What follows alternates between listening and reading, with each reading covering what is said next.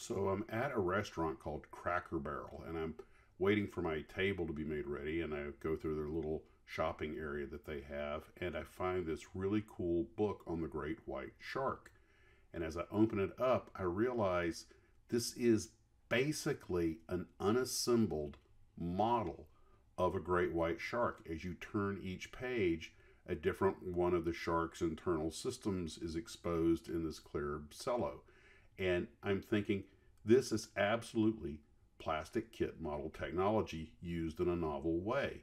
And it had the nervous system, the pulmonary system, the liver, the dermal layer, even had the reproductive system. And when you turn the page, you look inside and there are these little baby sharks waiting to come out and chew on some unsuspecting swimmers.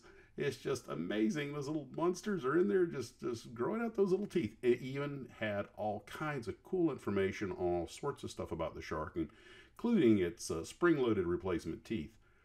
But the book was just an amazing little thing, and at $22.95, I probably should have got it, but I just was like, because eh, I know me, I get this thing home, I'm going to wind up removing all those parts out of the clear part and gluing it together as a model it was just the coolest thing. It was basically kind of like the Visible Woman or the Visible Man kit, but done in stages where you could flip the page and see the different organs and stuff. It was the neatest little thing. I know one thing. Probably if I stop there again, I will wind up getting it. But I can resist once. I'm, I'm only so strong. It was just super cool. It is what it is a novel way to use kit model technology for education maybe somebody should do this with a you know model airplane. You know, you you flip it open and you know there's there's the outer skin, there's the ribs and stringers, there's the hydraulic system, there's the fuel system. That'd be kind of cool. Anyway, I just thought that was a pretty neat uh, utilization of kit model technology.